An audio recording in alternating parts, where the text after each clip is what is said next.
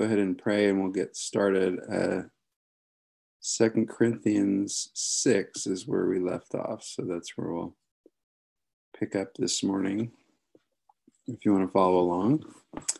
And I'll pray. Father, we thank you this morning that we can again come and uh, center ourselves around your word and gather around it together. And uh, we would ask you for the grace of um, making it feel like we are together, even physically in the same room around your word. And um, we're thankful for your spirit that makes us one. We're thankful for Jesus, who um, is our one Lord, our one Savior, and that um, that we have the gift of of your speech, your word, your your um, your scriptures given to us. So this morning, Lord, would you work in our hearts and minds and shape them as we read? Help us to to concentrate, even though we might be sleepy and a little foggy this morning. Would your word break through? We pray. Would your spirit break through with it and and shape us, form us, um, draw us closer and closer to you. And we do pray, God, that your whole church um, would would find themselves centered around your word as our lifeline and as our anchor in this world and in the circumstances in which we find ourselves. Pray all this in your name. Amen. All right, so Second Corinthians chapter 6. Working together with him, then, we appeal to you not to receive the grace of God in vain. For he says, In a favorable time I listened to you, and in a day of salvation I have helped you. Behold, now is the favorable time. Behold, now is the day of salvation. We put no obstacle in anyone's way, so that no fault may be found with our ministry. But as servants of God, we commend ourselves in every way by great endurance in afflictions, hardships, calamities, beatings, imprisonments, riots, labors, sleepless nights, hunger. By purity, knowledge, patience, kindness, the Holy Spirit, genuine love, by truthful speech and the power of God, with the weapons of righteousness for the right hand and for the left, through honor and dishonor, through slander and praise. We are treated as impostors and yet are true, as unknown and yet well known, as dying and behold, we live as punished and yet not killed, as sorrowful yet always rejoicing, as poor yet making many rich, as having nothing yet possessing everything. We have spoken freely to you, Corinthians. Our heart is wide open. You are not restricted by us, but you are restricted in your own affections. In return, I speak excuse me, I speak as to children, widen your hearts also. Do not be unequally yoked with unbelievers, for what partnership has righteousness with lawlessness? Or what fellowship has light with darkness? What accord has Christ with Belial? Or what portion does a believer share with an unbeliever? What agreement has the temple of God with idols? for we are the temple of the living God. As God said, I will make my dwelling among them and walk among them, and I will be their God, and they shall be my people. Therefore, go out from their midst and be separate from them, says the Lord, and touch no unclean thing.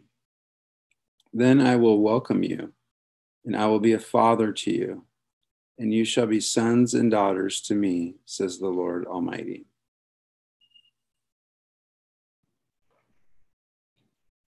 Since we have these promises, beloved, let us cleanse ourselves from every defilement of body and spirit, bringing holiness to completion in the fear of God. Make room in your hearts for us. We have wronged no one, we have corrupted no one, We have taken advantage of no of no one. I do not say this to condemn you, for I said before that you are a, that you are in our hearts, to die together and to live together. I am acting with great boldness toward you. I have great pride in you. I am filled with comfort. In all of our affliction, I am overflowing with joy. For even when we came into Macedonia, our bodies had no rest, but we were afflicted at every turn, fighting without and fear within. But God, who comforts the downcast, comforted us by the coming of Titus, and not only by his coming, but also by his comfort with which he was comforted by you. As he told us of your longing, your mourning, your zeal for me, for me, so that I rejoice still more. For even if I had made you grieve with my letter, I do not regret it. Though I did regret it, for I see that that letter grieved you, though only for a while. As it is, I rejoice, not because you were grieved, but because you were grieved into repenting. For you felt a godly grief, so that you suffered no loss through us. For godly grief produ- produces a repentance that leads to salvation without regret, whereas worldly grief produces death. For see what earnestness this godly grief has produced in you, but also what eagerness to clear yourselves, what indignation, what fear, what longing, what zeal, what punishment. At every point you have proved yourselves innocent in the matter. So although I wrote to you, it is not for the sake of the one who did the wrong, nor for the sake of the one who suffered the wrong, but in order that the earnestness for us might be revealed to you in the sight of God. Therefore, we are comforted, and besides our comfort, we rejoiced still more at the joy of Titus, because his spirit has been refreshed by you all. For whatever bo- boasts I made to you about you, I was not to put shame. But just as everything we said to you was true, so also our boasting before Titus has proved true.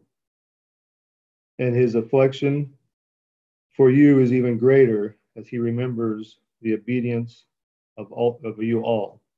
How you received him with fear and trembling. I rejoice because I have complete confidence in you. We want you to know, brothers, about the grace of God that has been given among the churches of Macedonia. For in a severe test of affliction, their abundance of joy and their extreme poverty have overflowed in a wealth of generosity on their part. For they gave according to their means, as I can testify, and beyond their means, of their own accord, begging us earnestly for the favor of taking part in the relief of the saints. And this, not as we expected but they gave themselves first to the Lord and then by the will of God to us. Accordingly, accordingly we urge Titus that as he has had started, so he should complete among you this act of grace.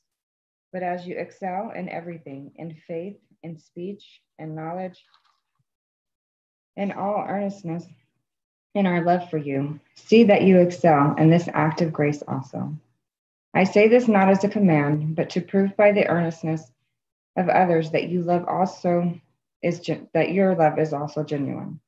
For you know the grace of our Lord Jesus Christ, that though he was rich, yet for your sake he became poor, so that you by his poverty might become rich. And in that matter I give my judgment. This benefits you. You a year ago started not only to do this work, but also to desire to do it.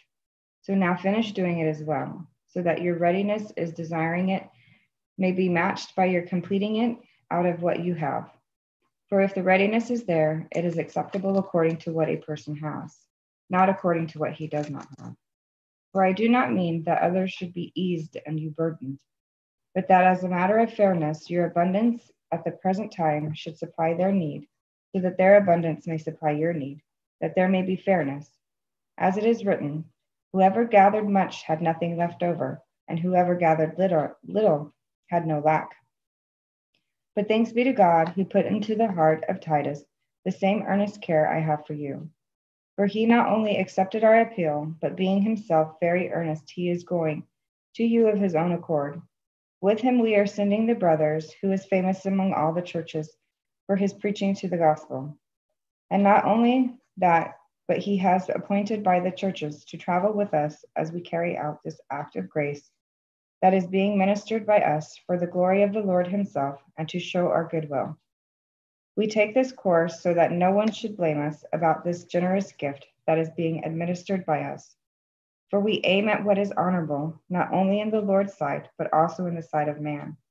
And with them we are sending our brother, whom we have often tested and found earnest in many matters but who is now more earnest than ever because of his great confidence in you. As for Titus, he is my partner and fellow worker for your benefit. And as for our brothers, they are messengers of the church, the glory of Christ. So give proof before the churches of your love and our boasting about you to these men. Now it is superfluous for us to write to you about the ministry for the saints.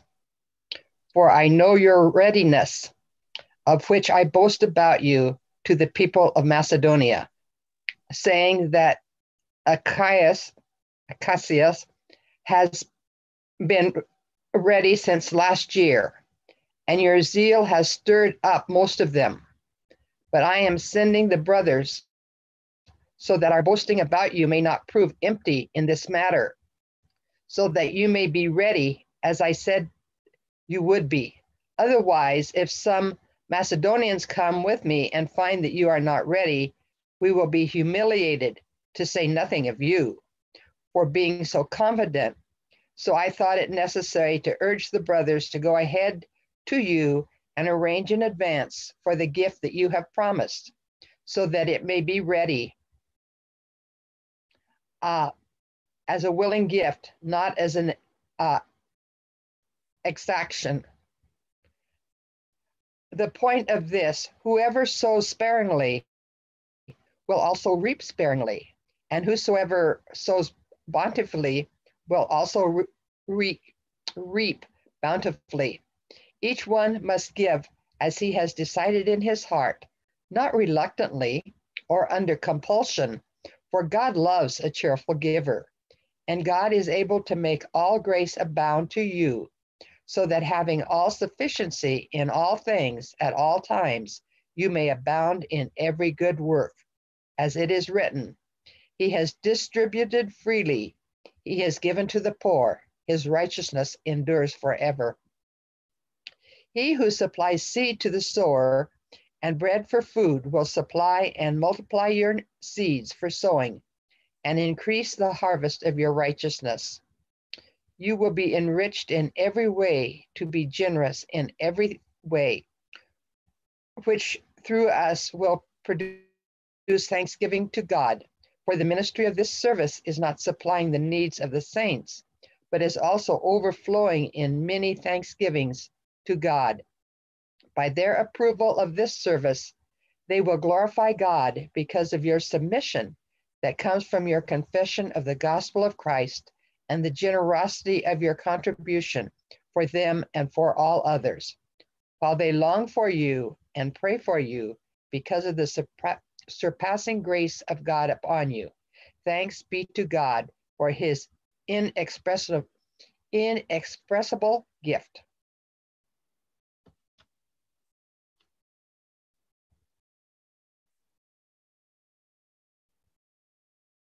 I, Paul, myself, entreat you by the meekness and gentleness of Christ, I who am humble when face to face with you, but bold toward you when I am away. I beg of you that when I am present, I may not have to show boldness with such confidence as I count on showing against some who suspect us of walking according to the flesh. For though we walk in the flesh, we are not waging war according to the flesh. For the weapons of our warfare are not of the flesh, but have divine power to destroy strongholds. We destroy, destroy arguments and every lofty opinion raised against the knowledge of God, and take every thought captive to obey Christ, being ready to punish every disobedience when your obedience is complete. Look at what is before your eyes. If anyone is confident that he is Christ's, let him remind himself that just as he is Christ's, so also are we. For even if I boast a little too much of our authority, for which the Lord God, the Lord gave for building you up and not for destroying you, I will not be ashamed. I do not want to appear to be frightened, frightening you with my letters. For they say, His letters are weighty and strong, but his bodily presence is weak, and his speech of no account. Let such a person understand that what we say by letter, we, when absent, we do when present. Not that we dare to classify or compare ourselves with some of those who are commending themselves, but when they measure themselves by one another, one another and compare themselves with one another, they are without understanding. But we are but we will not boast beyond limits, but will boast only with regard to the area of influence God assigned to us to reach even to you. For we are not overextending ourselves as though we did not t- reach you. For we were the first to come all the way to you with the gospel of Christ. We do not boast beyond limit in the labors of others, but our hope is that as your faith increases, our area of influence among you may be greatly enlarged, so that we may preach the gospel in lands beyond you, without boasting of work already done in another's area of influence. Let the one who boasts boast in the Lord. For it is not the one who commands commends himself who is approved, but the one whom the Lord commends.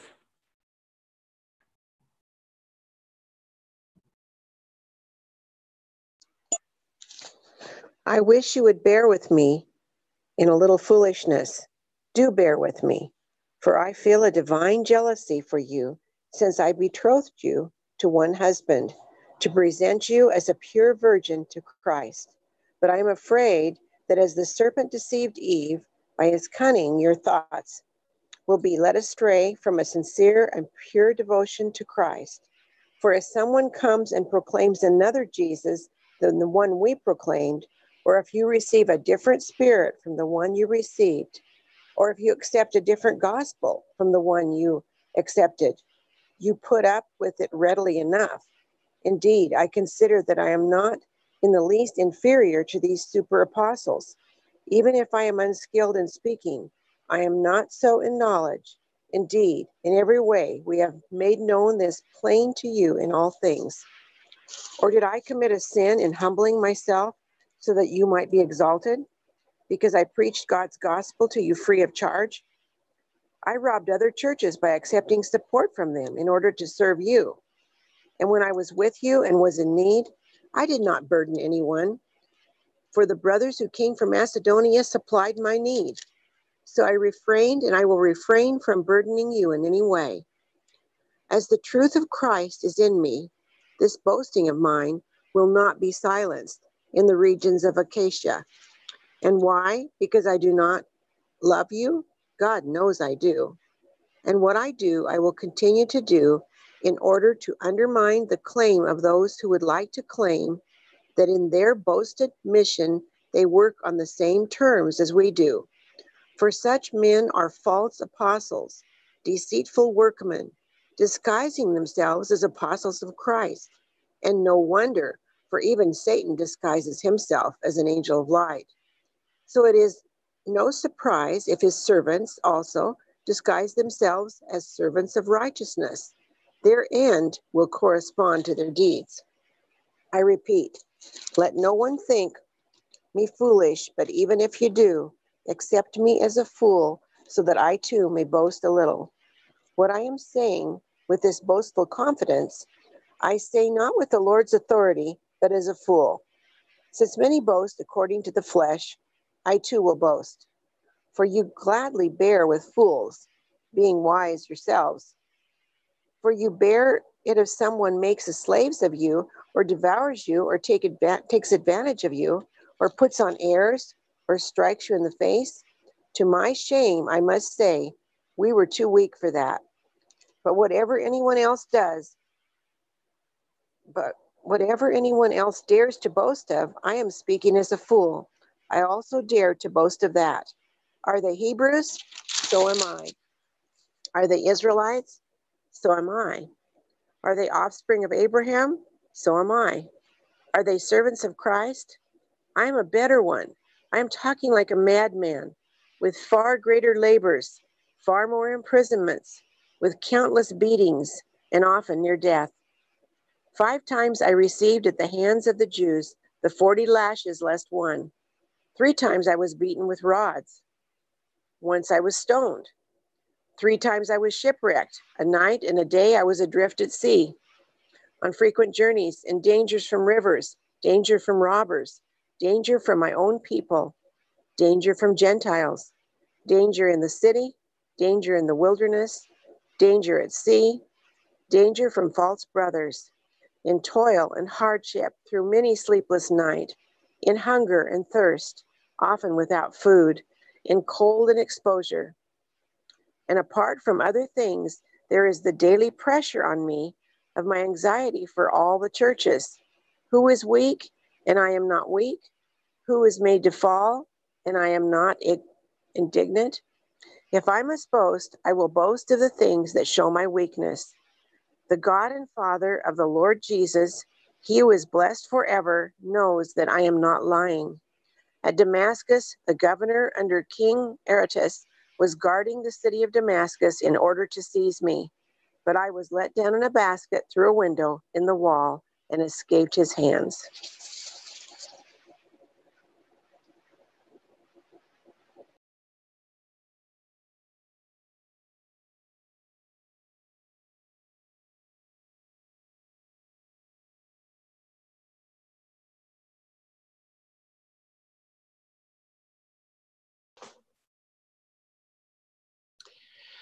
I must go on boasting, though there is nothing to be gained by it. I will go on to visions and revelations of the Lord.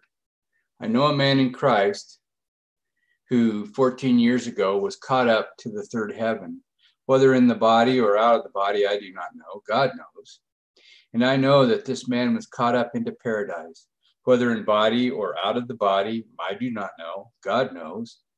And he heard things that cannot be told, which man may not utter.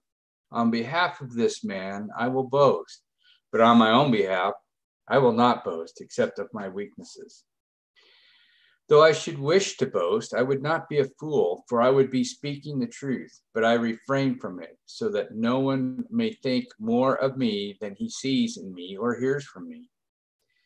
So, to keep me from becoming conceited because of the surpassing greatness of the revelations, a thorn was given me in the flesh a messenger of Satan to harass me, to keep me from becoming conceited.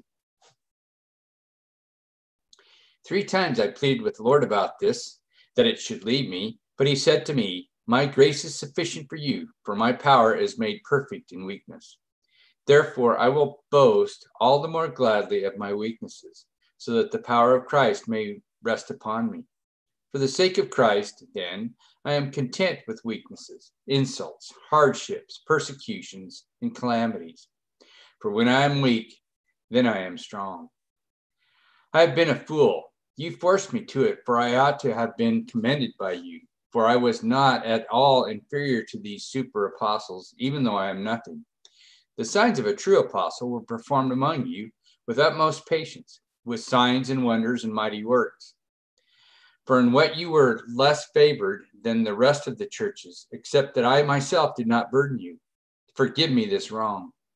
Here for the third time I am ready to come to you, and I will not be a burden, for I seek not what is yours, but you.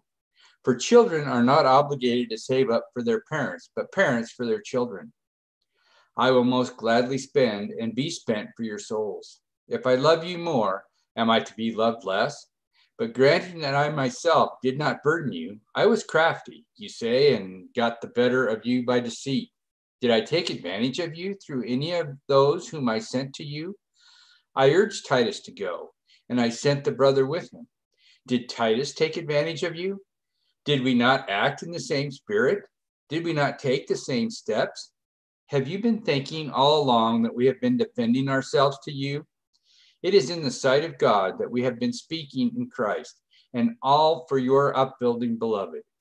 For I fear that perhaps when I come, I may find you not as I wish, and that would and that you may find me not as you wish. That perhaps there may be quarreling, jealousy, anger, hostility, slander, gossip, conceit, and disorder.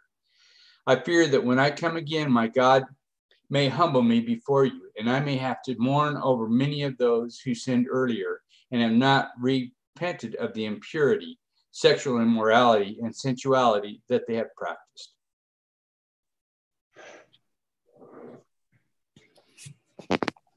Good morning. This is the third time I am coming to you. Every charge must be established by the evidence of two or three witnesses. I warned those who sinned before in all the others, and I warn them now while absent, as I did when present on my second visit, that if I come again, I will not spare them. Since you seek proof that Christ is speaking in me, he is not weak in dealing with you, but is powerful among you. For he was crucified in weakness, but lives by the power of God. For we also are weak in him, but in dealing with you, we will live with him by the power of God. Examine yourselves to see whether you are in the faith. Test yourselves. Or do you not realize this about yourselves that Jesus Christ is in you? Unless indeed you fail to meet the test. I hope you will find out that we have not failed the test. But we pray to God that you may not do wrong, not that we may appear to have met the test, but that you may do what is right, though we may seem to have failed. For we cannot do anything against the truth, but only for the truth.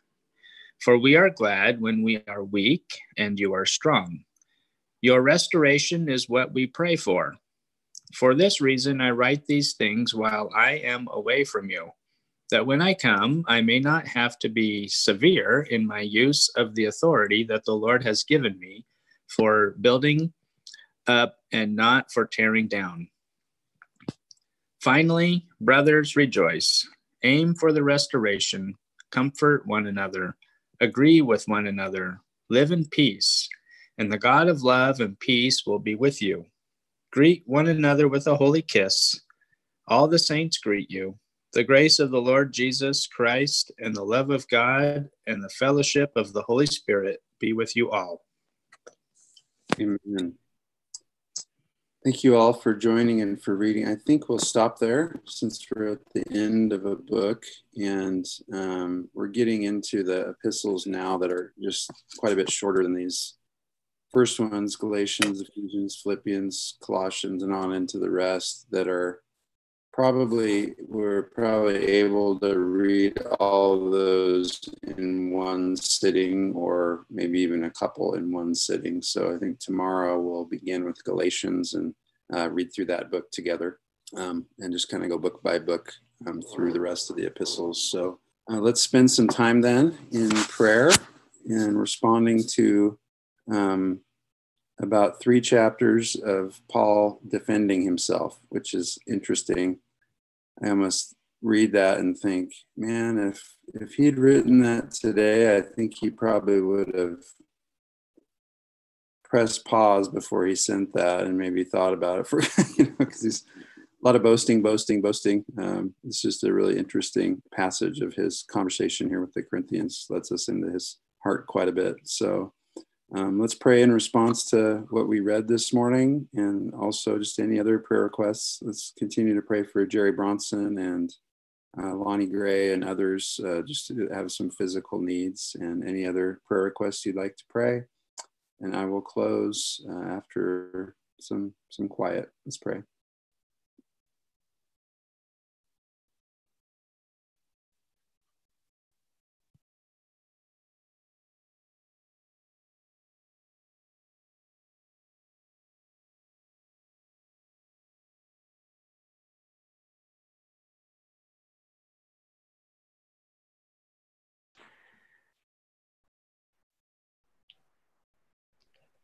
Father, what a privilege we have to come before you today. The fact that we have your word.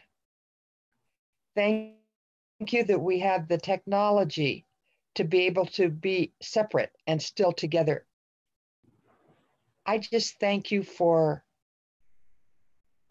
uh, the way you are strengthening us each day Paul told about how you strengthened him, helped him through many difficulties. We might think that things are difficult for us today, but none of us are being beaten. None of us are being shipwrecked. I don't think any of us are hungry. Lord, I just thank you for the way that you are meeting our needs. And I just pray for those who are in authority over us as they guide us through this time of social isolation. Give them wisdom to know when and how this uh, separation can be lifted and that we can once more be living a, the more normal life and Lord, I just pray for those in our church that have special needs because of this. Help us so that we might be alert to those needs. I just ask this in Jesus' name. Amen.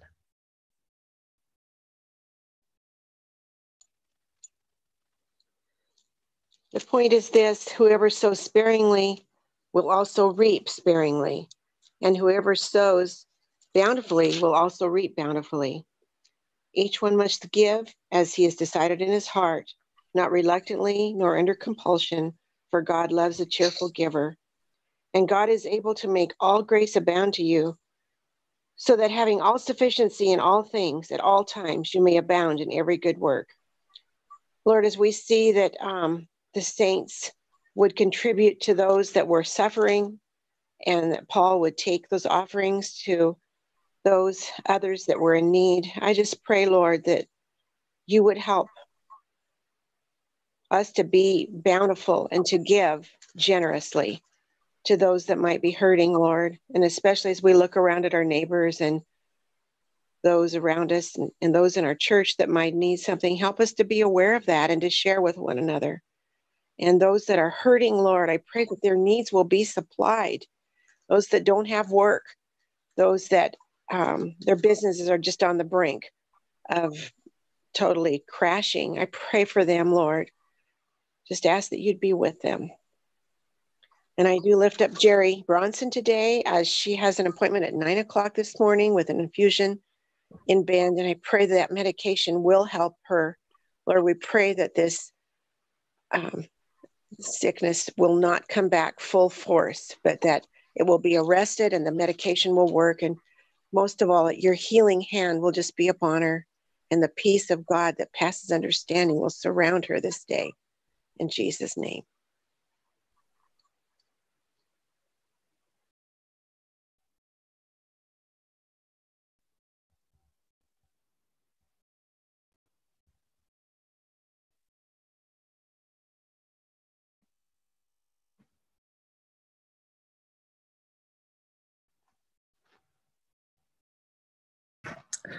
Father, good morning.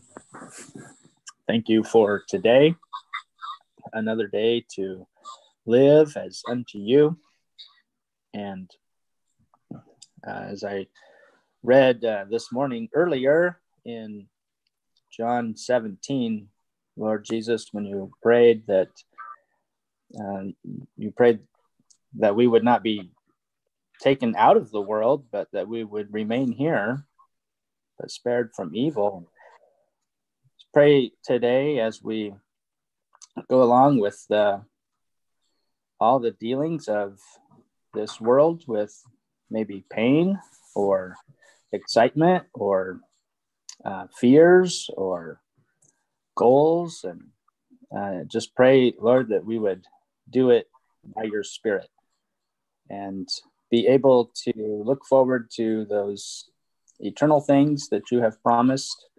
And as paul talked about this morning in corinthians that uh, we would test ourselves we would look at our lives and evaluate lord i think it's because the the things that are in front of me that I can see are uh, they just seem more real and more uh, maybe to be afraid of or to seek after and pray lord that you would empower each one of us by your spirit to uh, trust you that gift of faith that we could have our confidence on you who never change. And I am so thankful, Lord, that you you never change. And just even clear back when uh, the scripture, when Paul was writing, it was it was the same, and all the technology and uh, things around us that change so so quickly. But Lord, you never change, and and I really value that that uh, stability. And thank you so pray in Jesus' name. Thanks.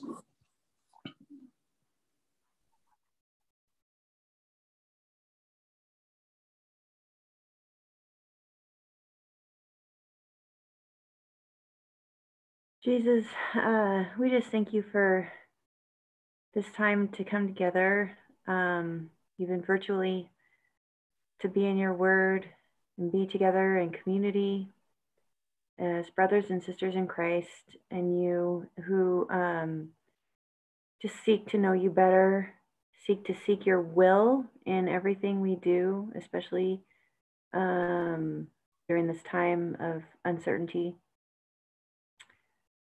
God, I just thank you for um, for your word. God, I just can't imagine not having it, not knowing it, not being able to come to you. And I just praise you for being the God of the universe. And I praise you for being the God over this virus.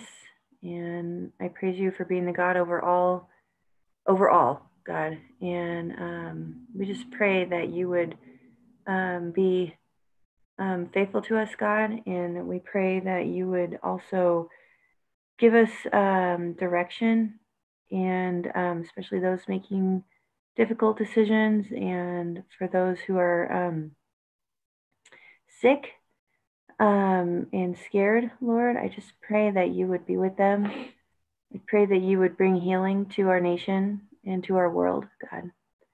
I just thank you again for who you are, for the fact that we can come to you, um, that you are not some far off deity that is um, uh, does not want to be in relationship with us, God. We are thankful you are who you are and you are who you say you are in your word.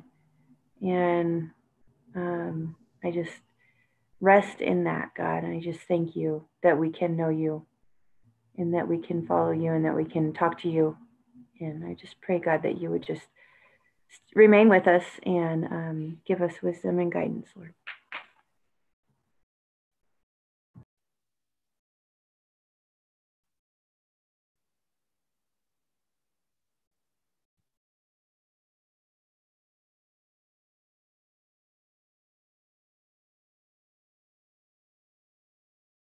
Father, I thank you for all these prayers, and I agree along with my brothers and sisters um, with these. We're thankful for your word, we're thankful for your presence. We do, um, we come to a place of lamenting and sorrow over what is happening in the world and the pain and suffering and loneliness that many are going through, the loss that many are experiencing. And uh, God, we want to be able to empathize and suffer with them and cry out to you, Lord, to remember your your faithfulness, your goodness, your grace on um, on your creation, and to extend that. I do pray for us as a church, Lord, that we would not miss the this time as a unique time in our lives to um, to, as Paul said, to test ourselves, to uh, to reassess, to reevaluate who we are and what we're about, and what you want us to be doing and how you want us to be loving and um, fulfilling the mission that you'd have for us in this world. And not in our own strength, God. I think of the words of Paul, which are so significant for all of our lives that when we are weak, then we are strong because your power is made perfect in our weakness. And so, um, Lord, help us to um, to not boast in all of our strengths or the things that we're good at or the things that would bring us attention, but that we would boast that when we are weak, then you get the glory and you um, you are seen as the one who comes through and who who saves. And um, Lord, it's no accident that you've made the cross the centerpiece of your wisdom in this world that we we see what seems like weakness, but what is truly your power and your strength. And Lord, we look to the cross this morning. A crucified Savior as our salvation, as our wisdom, as our righteousness, as our strength, as our comfort. Um, and so may our eyes be turned to you today, and may we direct others to you as we as we tell them of your works and your salvation and your kindness toward us. I too would lift up uh, Jerry Bronson this morning. I lift up Lonnie Gray. I lift up um, those who are battling cancer, Ellie Reynolds and Don Sawchuk, Ginny Groshong, Kathy Noer, and others, uh, Lord, any others who are um, just physically experiencing suffering. I pray that you would be with them. Pray for Dick and Mickey Rogers as they um, are just separated during this time. Um, and pray for peace and comfort for them. Uh, and Lord, lift up all these prayers, knowing that you are the one who answers and looking to your grace to meet us where we're at. We pray all these things in your name. Amen. Amen. All right. Thank you all. Good to see you this morning.